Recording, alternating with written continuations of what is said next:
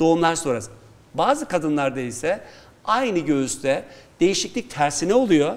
Hocam ben doğum sonrası önceden çok güzeldi, normaldi, volümü, şekli, biçimi her şeyi çok orantılıydı.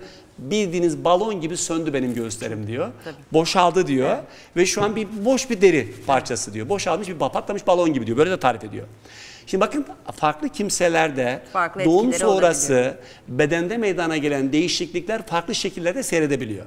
Şimdi göğüste bu böyle oluyor. Şimdi karın bölgesinde ise bazı kadınlarda aşırı derecede karın büyümesine bağlı sadece bir deri bollaşması veya yağ birikimi değil aynı zamanda karın kasları dediğimiz karnımızın şeklini veren belimizin sıkılığını gergin oluşturan o kasların karın kaslarının gevşemesine bollaşmasına bağlı karında bir fıtıklaşma oluyor. Genel bir fıtık. Yani kadın e, dur diyorsun ayakta durduğu zaman öyle alışmış ki çekiyor içine sıkıyor. Sıkıyor ya öyle bırakır mısın şu kendini? Bırak bildiğin bir boş bir torba gibi vücut hemen kendini bırakıyor. Neden?